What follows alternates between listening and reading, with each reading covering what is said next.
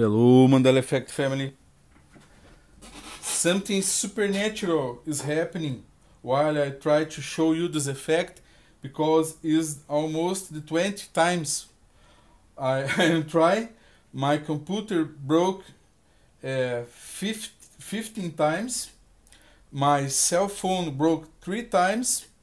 Uh, Getty Images, a website, important website, broke and shows that experiencing technical issues and I'm trying in different computers in different cell phones and different sites and something supernatural is happening because you don't have simulta simultaneously things happening to stop what we sh will show now. Well, we are, uh, we are talking about the famous transatlantic named Queen Elizabeth II or II, okay? Most known as QE2 or QE2. So we have residual evidence, uh, very, very important, that the Queen Elizabeth II supernaturally changed, okay? So, let me say if that time I will be allowed to show you what's happening. The first residual evidence is a gouache, okay, showing QE2, QE second, okay. I tried to, to read here, but I was unable. Here we have the Queen Elizabeth in the final cruise final visit when they stopped with this transatlantic. So the Queen Elizabeth II on the liner to QE second QE and Roman numerals okay? And now it is two with, with okay? It's the first residual evidence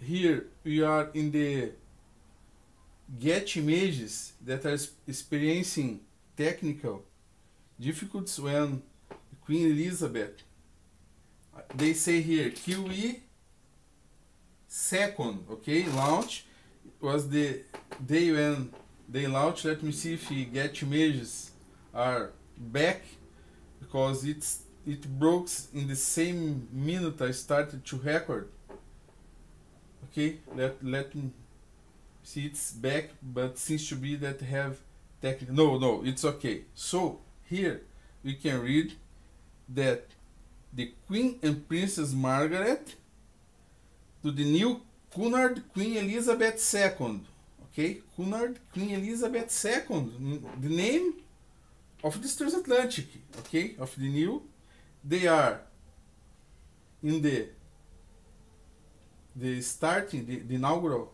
okay, by Getty Image. This is a copyrighted image. This is a legal document, proof in any court of the planet, because it's a registered document. It's copyrighted and registered as we read here, okay? So this is a legal proof in any court of the planet as a Mandela effect, okay? This is legal proof.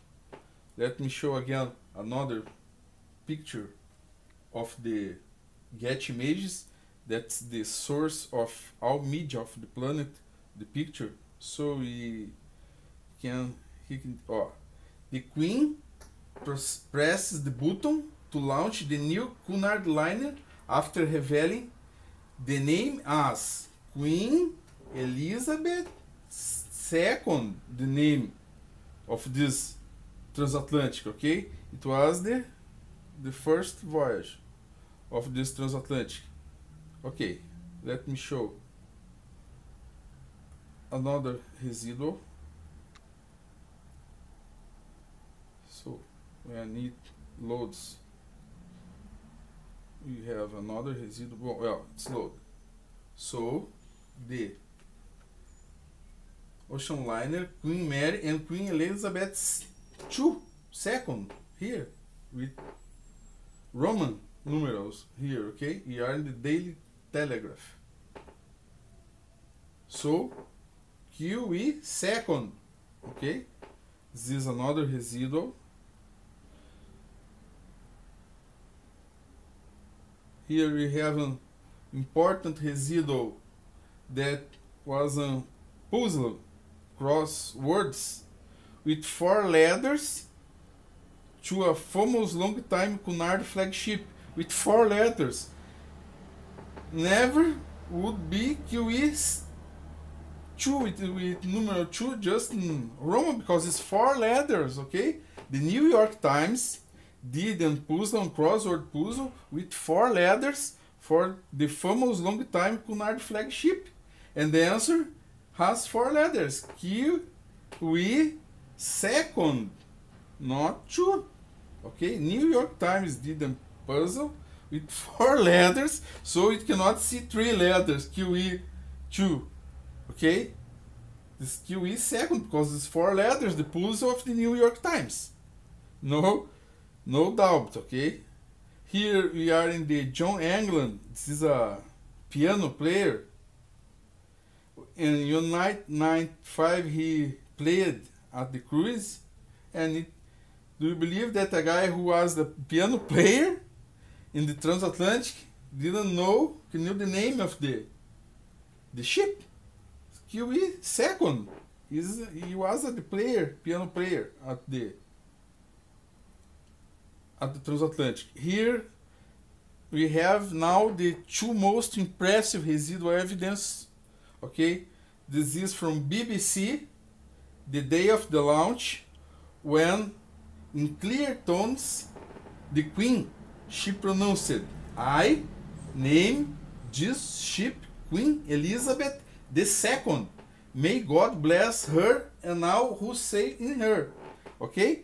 And they have, uh, they say it, but supernaturally BBC doesn't have more the queen saying that the name in, is Queen Elizabeth II. In clear tones, she pronounced BBC.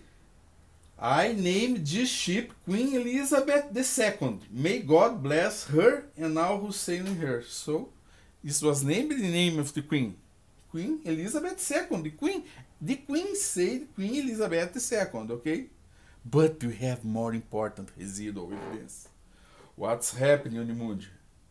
So, let me say will I'll omit to show because problems for 50 times it can open.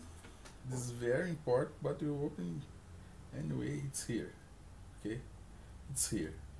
This is the most important residual evidence. This is a Buckingham Palace ladder okay?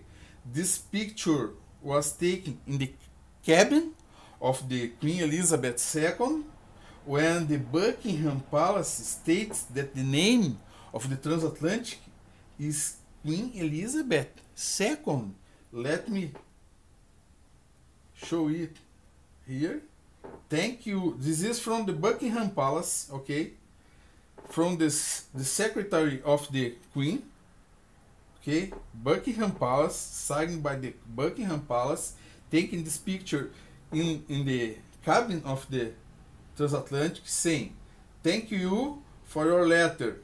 Asking they asked what the real name of the transatlantic. And the Buckingham Palace said the Queen Elizabeth II was indeed named after Queen Elizabeth II.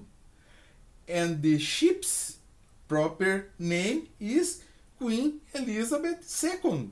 This is a Buckingham Palace, a picture taken in the cabin of this transatlantic signed by the Buckingham Palace showing that the name of this transatlantic is Queen Elizabeth II.